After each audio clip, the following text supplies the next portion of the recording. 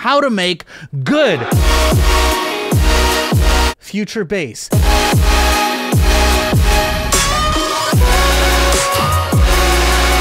But I can't do it alone. I'm gonna need the help of my friends over at Output Arcade, who are offering a free 30 day trial for you and 50% off your first month using the link below. And they were kind enough to sponsor this video where I show you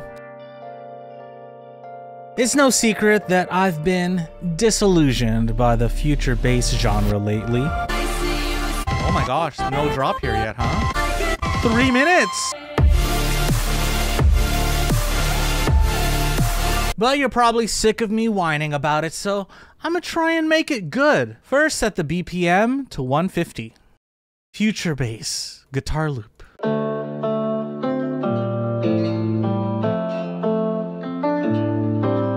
While that's a good start, it's better to throw it into a sampler and chop it up so it's a little more unique.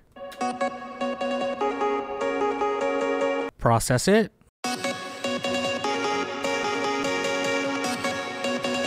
And if you want guitar loops like this without paying a nasty subscription fee, check out Future Bass Guitar Loops Volume 1 now available, link down below. And to keep with the guitar theme, pop punk bass. Cause Reese basses are too obvious.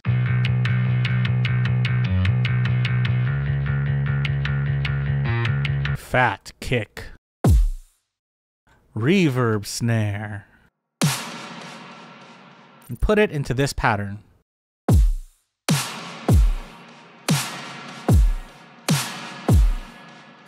on the very last snare hit, automate a panned delay. You know, for the producers who are only in it for the aesthetic and also enjoy the sound of jingling keys. Add in a hi-hat on 8th beats to fill the space, and to keep the drums moving.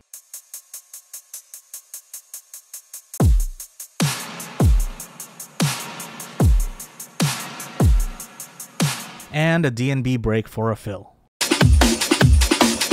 halftime, and filtered. Now while this guitar melody is pretty emotional in itself, we can add even more emotion using a counter melody like... These are ridiculously easy to write using Arcade's huge selection of instruments. This is the one I picked. And inside Arcade you can easily customize each sound with all of these effects. Using this, I'm able to add a bit more rhythm to this counter melody. And altogether,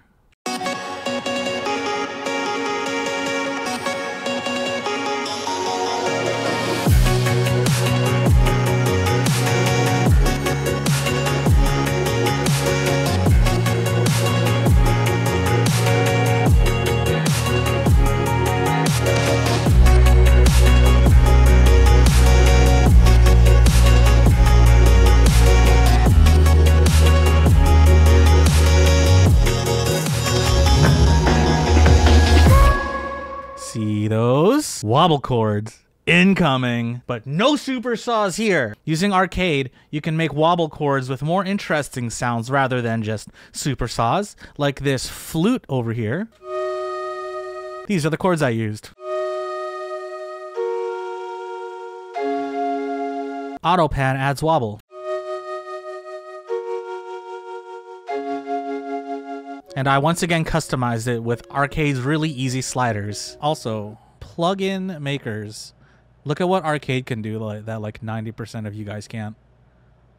Whoa! Now, after copy pasting a bunch of elements from the intro, like bass guitar, counter melody, the original guitar loop, I was gonna add some build-up drums, but the stream team told me not to. So, instead of build-up drums, how about a bunch of risers for tension?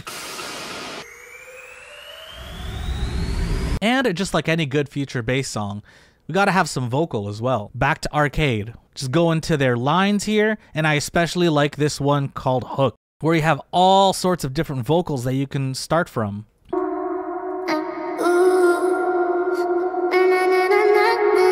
And in the whole build-up, they sound like...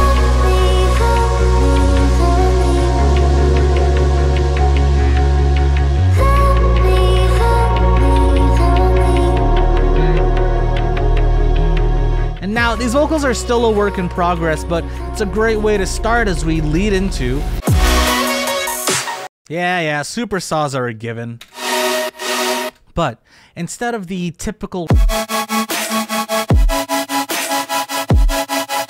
Alright, chat, I'm done. Not gonna lie, I'm just like. So how do we keep ourselves from going to the Imagine Dragons megachurch ah sound and beats? First, pick a chord progression you like. And you don't even have to write the chords yet. Just use the root note and put it on a poop saw. In my case, I went with In addition to picking a chord progression you write, it helps not to just repeat the chords that you've been doing in the intro and build up. For example, my intro sounds like and the drop sounds like While this isn't like a rule that you must follow or else, when you copy and paste the same chord progression, it has that beginner repetitive quality and might be the reason why your future bass songs or any melodic song you write might sound boring. Now, I'm not saying go and change the whole chord progression. That's not what I mean by that. You can switch it up by just changing up the rhythm, just like I did with the drop progression here. You can see how in the intro I'm doing quarter notes, and then in the drop, I'm doing more chopped up eighth or 16th notes. In addition to that, the only chord I really changed is the second one here, keeping it on the B instead of going up. So this is drop chord progression. This is uh, intro chord progression. Drop, intro to help you compare. And then, rather than just the gated eighth note, to have the super saws do more intentional rhythms that sounds more like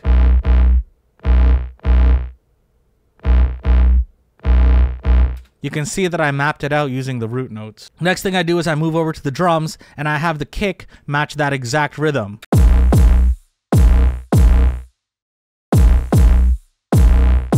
This is optional for the uh, first bit of the drop, but having the snare on the three, if you look up on the timeline on the point three, putting the snare there every time helps as well.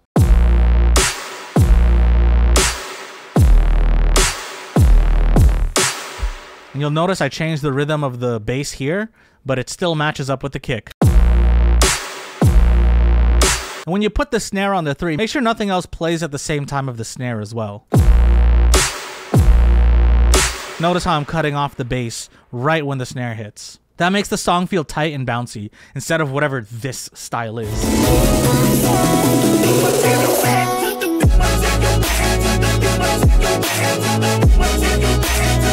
Next, you can turn these basses into chords by using tools like Chord Rack, or turn them into chords the old-fashioned way by skipping notes.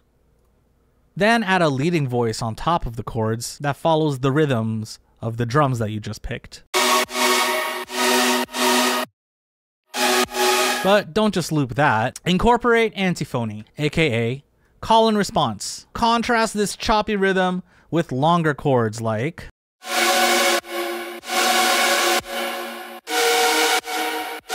Before you ask to see the preset, the actual thickness comes from how you write the chords themselves.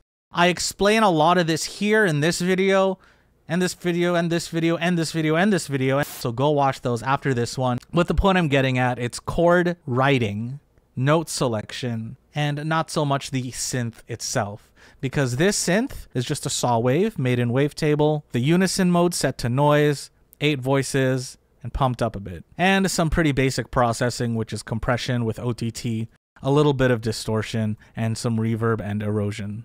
When you have the chords all figured out, it's really easy to layer it as well with something like this airy square layer and a mono saw complement the super saw, which is the saw preset without any unison on it, and a shorter envelope, and a more controlled filter. And this will help you translate the big saw stack into mono.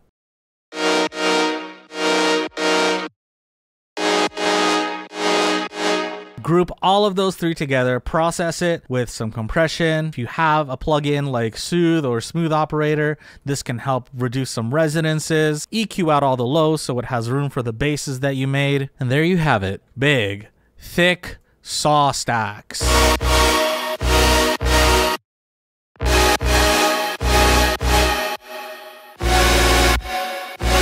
Now with the saws doing different rhythms, we still need those eighth note beats to keep the song moving. So rather than having the super saws do them, move that rhythm to other stuff like the vocal that we got from Arcade. Now, as I said earlier, Arcade is great because the sounds are high quality and you don't need to do a lot of processing to make them work. But at the same time, you can resample Arcade like this. If you want to process the heck out of it, you can and you get stuff like.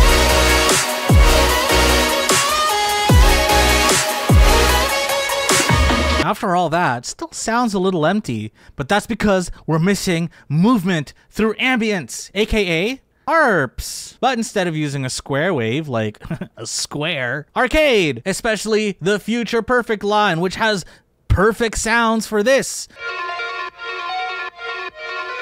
But like, listen to the song once I add this really sneaky yet crucial element.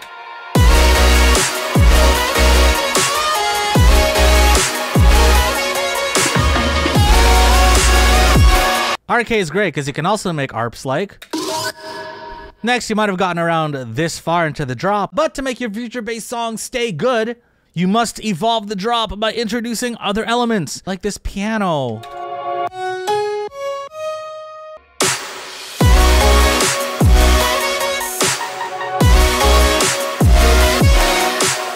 That your drop has come together and you have this solid idea looking at you right in the face, now you can add some of the fun stuff like. Or you might have heard them already, but these little. And as the drop continues to evolve, you can move some of the super saws you want to accent a bit more, a little bit forward from the kick, add that extra impact. But either way, when you adapt a genre, try to subvert a few of the tropes and find inspiration from outside of what every other artist in that genre does. And I'm not saying invent something completely new, maybe try taking a trope from another genre. Don't forget to include high quality sounds like the ones from this video sponsor, Output Arcade. You can try it for yourself for free using my link down below. Plus on top of that, you get 50% off your first month and also grab the Future Bass Guitar Loop sample pack for maximum emotion. Check out all the guitar loops you can get. So many. Fif 15 guitar loops for $15. How sick is that? The possibilities are endless. Look at me go. I'm such a good salesman. You know, honestly, it it honestly just felt like it was Christmas of 2012. Literally, time has flown by